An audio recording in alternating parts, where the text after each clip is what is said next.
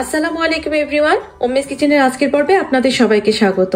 আমার আজকের রেসিপি হচ্ছে কোল্ড কফি আমি নিজে বাসায় সবসময় যেভাবে কোল্ড কফি বানিয়ে থাকি, সেটাই আজকে আমি আপনাদের সাথে শেয়ার করব। তো চলুন তাহলে শুরু করা যাক। কোল্ড কফি বানানোর জন্য কি কি লাগবে সেটা আগে দেখে নিব। আমার লাগবে চিনি ইনস্ট্যান্ট কফি পাউডার তিনশো পঞ্চাশ এম দুধ, দুধটা আমি জাল দিয়ে একটু ঘন করে নিয়েছি, আর ফ্রিজে রেখে ঠান্ডা করে নিয়েছি। আর লাগবে কিছু আইস কিউব আর এখানে আমি কফিটা বানানোর জন্য একটি গ্লাস নিয়েছি।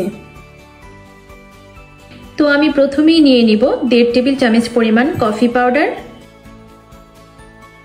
আর দুই টেবিল চামচ পরিমাণ চিনি। এবার এতে সামান্য গরম পানি দিয়ে প্রায় তিন চার মিনিট একটি চামিচের সাহায্যে খুব ভালোভাবে ব্লেন্ড করে নেব।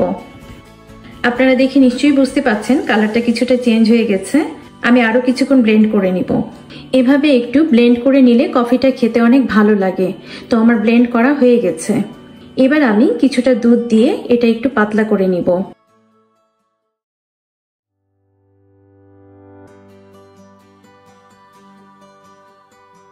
এবার আমি বাকি দুধটাও এর সঙ্গে ভালোভাবে মিশিয়ে নিব।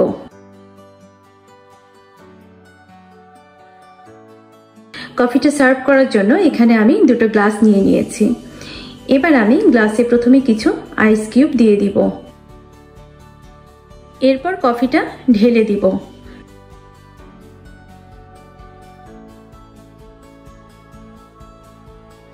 ব্যাস, তৈরি হয়ে গেল দারুণ মজার কোল্ড কফি। আশা করি আপনাদের কাছে ভালো লেগেছে। যদি ভালো লেগে থাকে, তাহলে লাইক শেয়ার এবং সাবস্ক্রাইব করবেন। সবাই ভালো থাকবেন। আল্লাহ হাফেজ।